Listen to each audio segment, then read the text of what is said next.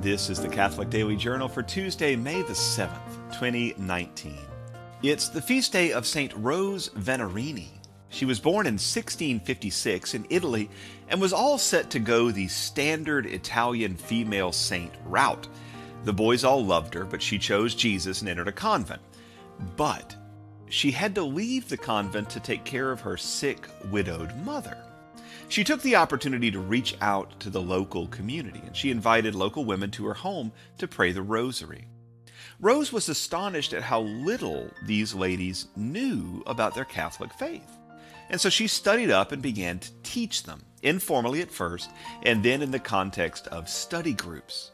She was encouraged by some of the moms to open a preschool then Cardinal Barbarigo asked her to organize and train teachers for the schools in his archdiocese. Now, she wasn't a nun, and she really wasn't a teacher. She was really just an enthusiastic laywoman who did all the thankless legwork to make it possible for the nuns, the teachers, to do their jobs. She lived a life of holiness, and she was beatified in 1952. We have three historic foundings today. First, back in 1664, King Louis XIV of France, the Sun King, began construction on the Palace of Versailles. King Louis wasn't exactly a man of the people, and his opulent and expensive palace outside of Paris became a symbol of the ivory tower thinking of the French monarchy. Versailles stood then as a constant sign of the division between the haves and the have nots. It was also a not so subtle way for King Louis to show off to other royals who visited. They saw the grandeur and they came to believe that France was the greatest artistic, military, wealth, etc. nation on earth. After the royals were dispatched, each new government, despite all the lip service to egalitarianism and social equality, happily moved into the palace, and it remains in use today as a venue for everything from elaborate parties to the negotiation and signing of treaties. Well, today or so, in 1718, the city of New Orleans was founded by the French Mississippi Company on land that was actually inhabited by the Chitimacha Indians. It was named for Philippe II, the Duke of Orleans, and it was a mixed bag in terms of location. The city was right at the mouth of the mighty Mississippi River. Now, that would make it one of the most important strategic cities in the Americas.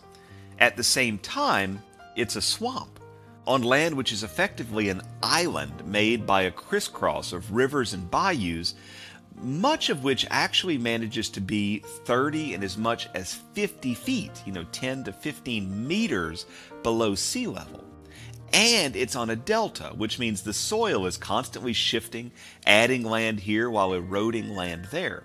It's highly susceptible to flooding, and all that standing water breeds mosquitoes large enough to work for Amazon delivering packages. The city would trade hands a number of times before finally becoming part of the United States in the Louisiana Purchase of 1803. Finally, today in 1909, Edwin H. Land founded the Polaroid Company. He went to Harvard to study chemistry, but left after a year and moved to NYC. And there he invented the first cheap filters capable of polarizing light that would go on to become Polaroid film. Because he didn't have a lab, he took to breaking and entering the lab at Columbia University. He did most of his research reading at the New York Public Library. His big insight was simple in hindsight. Light filters at that time were expensive because growing large crystals was expensive. Land realized that properly manufactured, millions of superabundant, tiny polarizing crystals could do the job just fine. He returned to Harvard with his invention patented, but never got a degree. He was too focused and single minded and couldn't be bothered with things like tests.